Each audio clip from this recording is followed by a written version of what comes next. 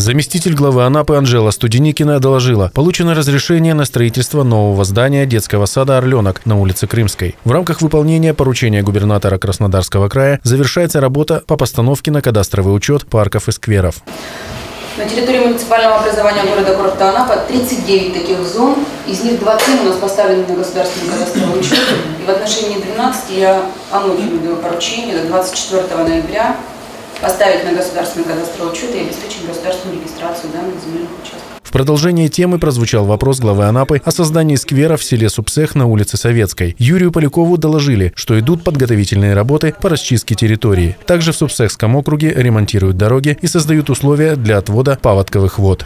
Завершены работы по капитальному ремонту канализации по улице Фрунзе в селе Супсех. Э, был выполнен монтаж канализационной трубы протяженностью трассы 156 метров.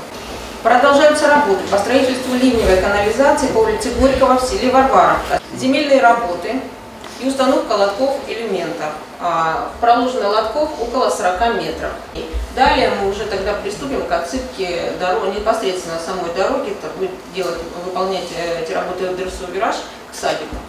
По результатам выезда в Витязево и общения главы Анапы с местными жителями звучит отчет. Завершается строительство тротуара на Афинской, отсыпана улица Школьная.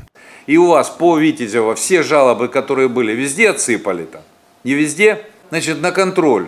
Потому что там, где люди жалуются, ну, уже реально мы поехали там ямы об, об по колено. По 100 кубометров щебня получил каждый округ, поэтому работы по благоустройству сельских улиц не останавливаются. Продолжается и ремонт здания военкомата. Сюда переведут часть служб, и это значительно сократит расходы бюджета на аренду помещений. В завершении планерки Юрий Поляков поднимает тему переноса здания автовокзала из центра города. То есть вынос автовокзала с города. Много лет об этом говорим, но, наверное, нужно этим заняться. Юрий Егорович, вы, Яна Адалетовна, собирайтесь, разговаривайте, мнение есть. Земля есть около ЖД вокзала. Есть инвестор, который хочет а зайти. ЖД вокзал, пожалуйста, Анжела Анатольевна, не, не спускать. Я сказал, до курортного сезона, чтобы там было все сделано. Исполнение поручений главы Анапы стоит на особом контроле в администрации.